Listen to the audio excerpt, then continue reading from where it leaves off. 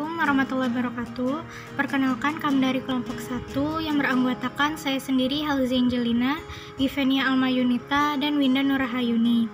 Pada praktikum kali ini, kita akan membahas mengenai uji karbohidrat dengan menggunakan uji Lugol.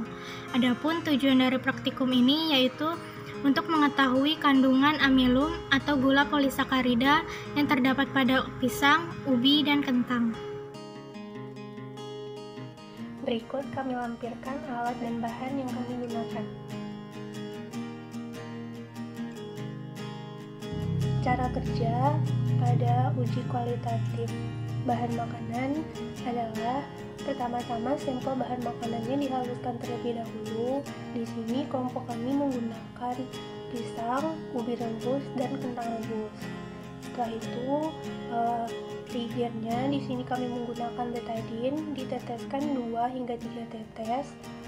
Uh, selanjutnya diaduk dan kemudian diamati perubahan warna yang terjadi.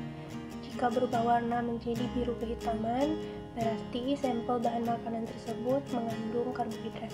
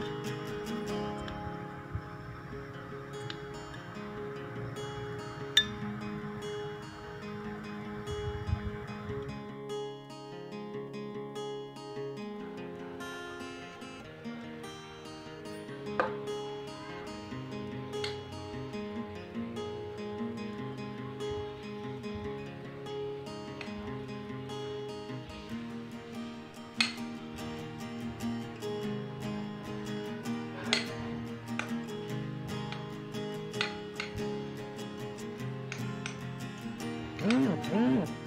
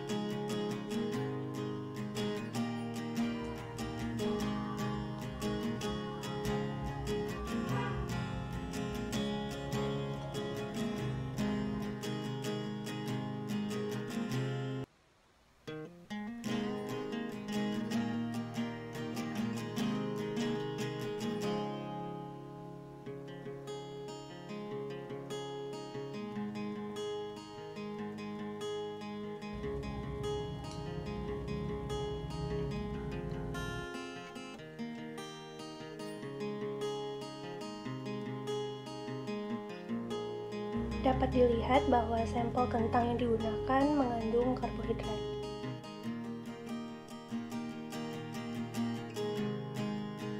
Baik, kesimpulan eh, pada uji kualitatif karbohidrat, kami menggunakan tiga bahan makanan yaitu pisang, kentang, dan ubi rebus. Nah, hasil pada praktikum yang kami lakukan yaitu pada e, sampel pisang, hasil akhirnya negatif yaitu tidak mengalami perubahan warna menjadi biru kehitaman yang menandakan bahwa pada pisang tidak terdapat kandungan amilum dan pada kentang dan ubi rebus menghasilkan hasil yang positif yang menandakan bahwa e, pada kentang dan ubi mempunyai kandungan e, amilum yang banyak dan menghasilkan warna e, biru kehitaman.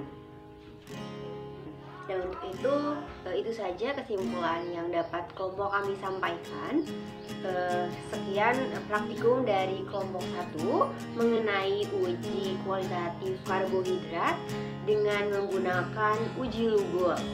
Nah, untuk itu kurang dan lebihnya eh, kami mohon maaf.